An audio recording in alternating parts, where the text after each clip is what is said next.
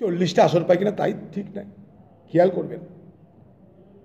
মোদি এবং বিজেপি বলে কংগ্রেস মুসলমানদের তুষ্টিকরণের রাজনীতি করে।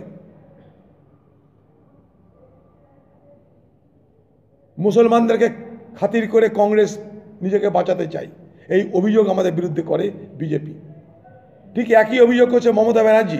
মুসলমানদের সুশ্রী দিতে এসছে।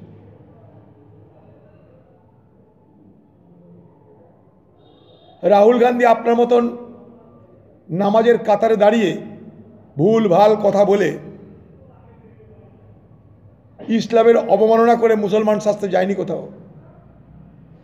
এগুলো আপনি করেন।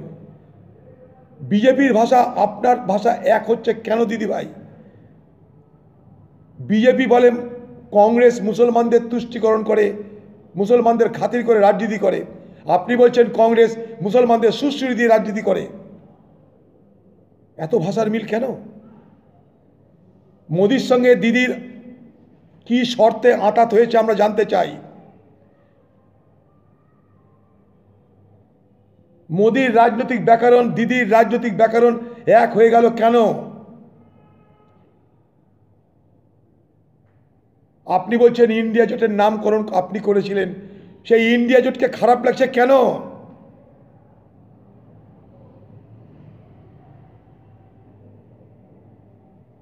সেই ইন্ডিয়া জোটের ক্ষতি চাইছেন কেন?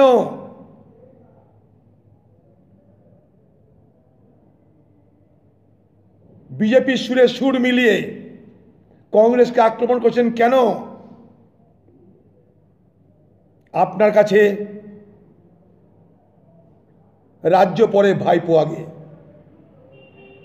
রাহুল গান্ধী কাছে দেশ আগে, বাকি সব পরে। এইটাই ফারাক। দুর্ভাগ্য বাংলার মানুষের যে একটা নিষ্পাপ মানুষ যার নাম রাহুল গান্ধী। কালকেও ঝাড়খণ্ডে গিয়ে, জানেন? আমি তার সঙ্গে পাকুড়ে গেছিলাম। কালকেও ঝাড়খণ্ডে গিয়ে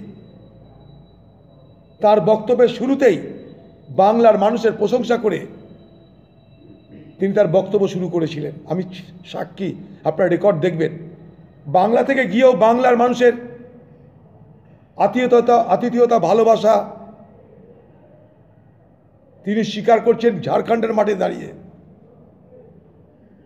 আর সেই বাংলার মুখ্যমন্ত্রী রাহুল গান্ধীকে গালিগালাজ করছেন।